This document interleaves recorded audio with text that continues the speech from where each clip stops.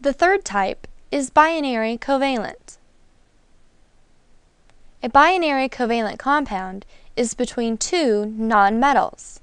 When nonmetals bond together, they don't transfer electrons as in an ionic bond. Rather, they share electrons to form a covalent bond.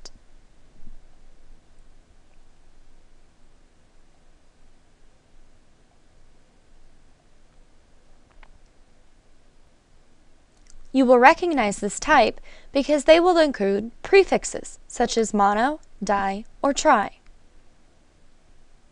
They will also always include two nonmetals. Examples are carbon monoxide or diphosphorus decaoxide.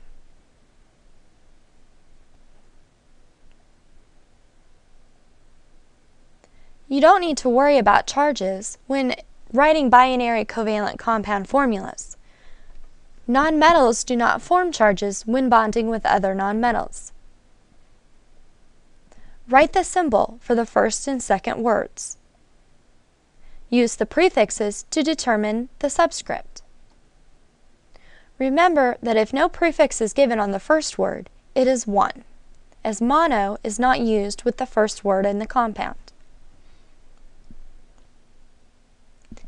Here are the prefixes used for each of the subscripts 1 through 10.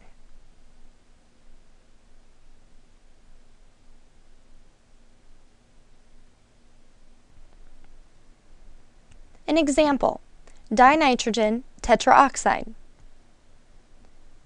Nitrogen is the symbol N. Di indicates 2.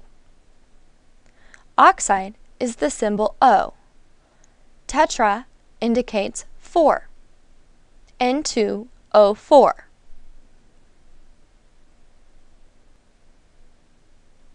Another example, silicon dioxide. Silicon is the symbol Si. We don't use mono with the first word, therefore it's assumed to be 1. Oxide is O. The di indicates 2. SiO2.